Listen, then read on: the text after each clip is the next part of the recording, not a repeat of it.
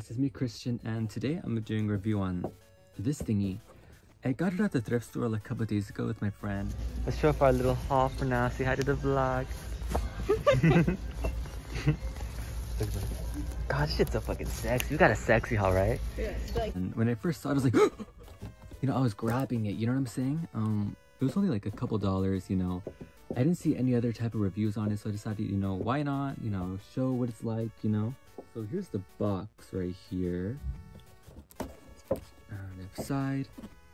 One thing I noticed is that like there's other versions of the thingy, but they all come with like just Yasmin, if that makes sense, because there's a patch right here. So you see the patch? But if you get Sasha, it'll still be Yasmin for some reason. Which I don't know why, but that just shows how MGA is still lazy. He's very lazy, and to this lazy, to this day, they are still very lazy. So yeah. Okay, now I'm going to unbox it. It's really dusty. Some.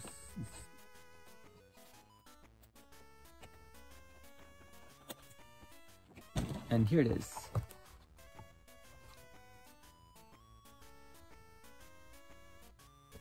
This is cool. So it's like a pillowcase right here, uh, the patch and flowers for some reason, and it comes with a little uh, pamphlet that shows the other stuff they're selling or were selling. Here's my pillow that will be Bratzified, you know.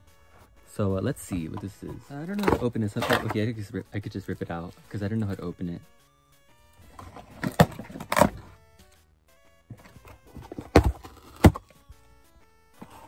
And here's the thingy.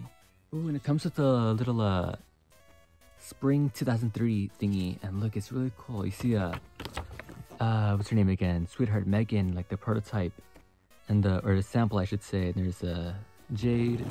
It's really cool. The backside. Oh my god. This is cool. Uh, here's a closer look on the patch. I don't think I'm gonna use the patch for uh, this. I might use it for a backpack or something, because I don't want to use it on this, but let's see. Uh, is tape on it? Oh, tape is really sticky because of age. Alright, so here's the pillowcase. It's uh, a blue one. This is cool. And there's a bunch of ribbon on here as well. And more ribbon, I guess. I'm not really sure how this is supposed to be, but... It doesn't smell very good. I guess because of age and how dusty the box was, but it doesn't smell very good, but whatever. So realizing it now, this is really big, like... Oh my god. It's bigger than my actual pillowcase, but I don't think I'm gonna use this, because...